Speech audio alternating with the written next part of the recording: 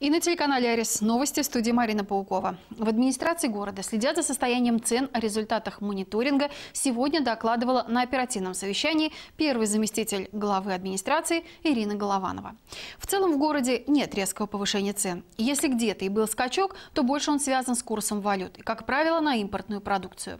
Глава администрации Борис Беляев встретился с предпринимателями.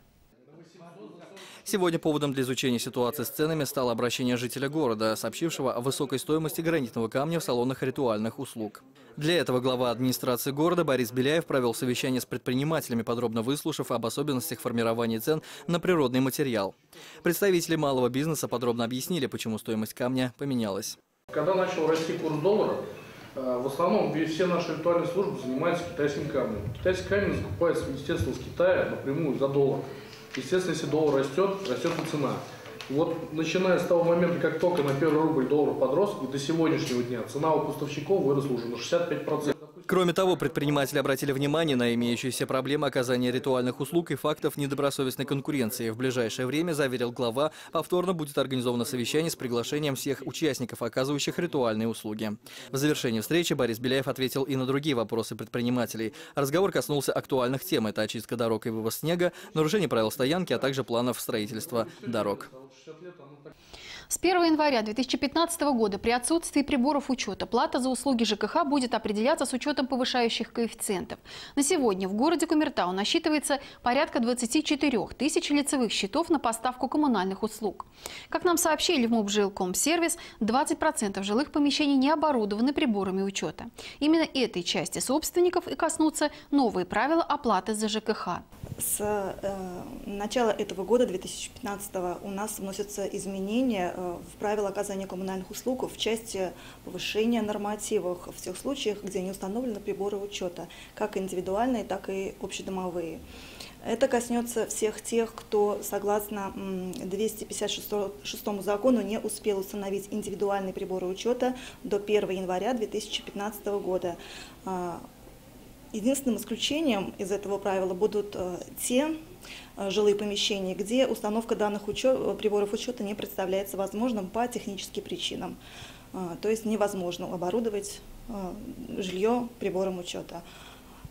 Повышение будет составлять в пределах 10% от существующего норматива. Данное повышение вы увидите в следующих квитанциях по оплате жилищно-коммунальных услуг как отдельной строкой. Как раз он и будет называться повышающий коэффициент к нормативу.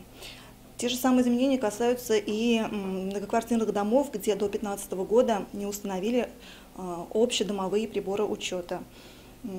Опять же, нужно обоснование. Если дома, опять же, не пред, а, пред, нет возможности установить там прибор учета домовой, дом, допустим, старый, либо подлежит сносу, в тех случаях, естественно, повышающий коэффициент вноситься не будет. В остальных случаях, как на горячую, так и на холодное водоснабжение, на электроэнергию, на отопление, на теплоэнергию, повышающий коэффициент будет установлен.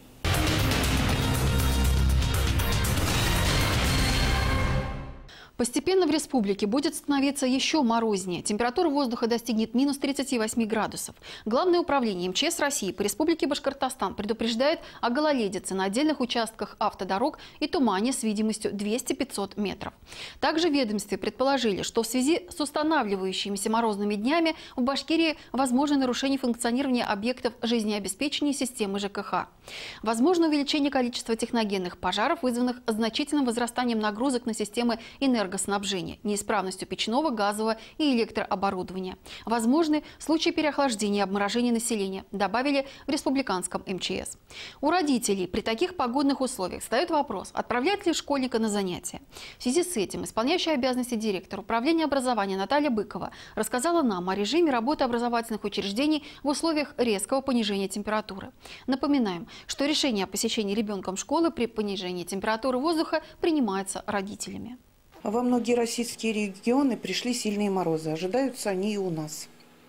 Но на температурный режим, э, на отмену занятий влияет не только температура воздуха, но и ветер. Поэтому на Урале вообще действует следующая шкала. Учащиеся первых-четвертых классов могут не посещать занятия при температуре 25-28 градусов. То есть, если сильный ветер 25 градусов, дети не идут в школу. Учащиеся основной школы 5 и 9 классы при температуре 28-30 и э, старшеклассники 30-32 градуса при такой температуре. Но тем не менее, если э, дети пришли в школу, занятия не будут отменены, а будут проводиться согласно расписанию уроков.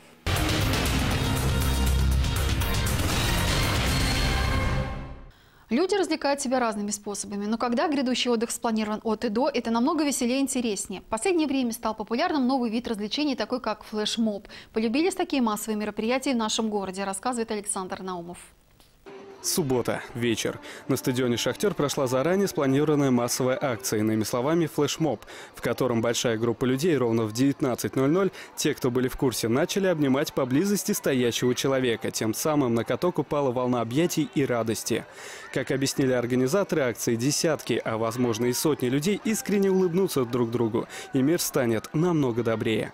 Участники подобных акций в жизни часто являются вполне успешными и серьезными людьми.